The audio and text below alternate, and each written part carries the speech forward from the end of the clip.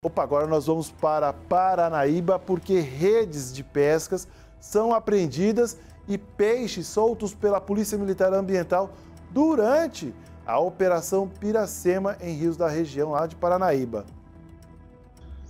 Olá Israel, a todos que nos acompanham. Israel, já são 1.500 metros de redes de pescas retiradas pela Polícia Militar Ambiental de Aparecido Tabuado, PMA, em duas operações efetuadas nos últimos 10 dias em rios da região durante a Operação Piracema. No dia 18, uma equipe havia retirado 11 redes, medindo 500 metros nos rios Paraná e Quitéria.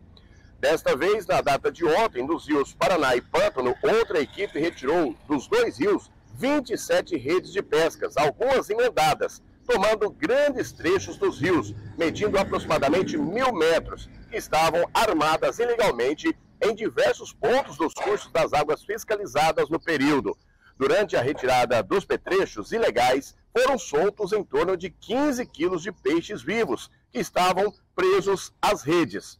A retirada de petrechos legais de pesca é um tipo principal de fiscalização preventiva que é fundamental e tem sido prioritário nos trabalhos de combate à pesca predatória da PMA, pois a retirada deste material com esta quantidade de redes nos rios impede a degradação dos cardumes, tendo em vista o alto poder de captura deste tipo de petrechos, especialmente neste período de Piracema, em que grandes cardumes estão formados e subindo os rios para reprodução.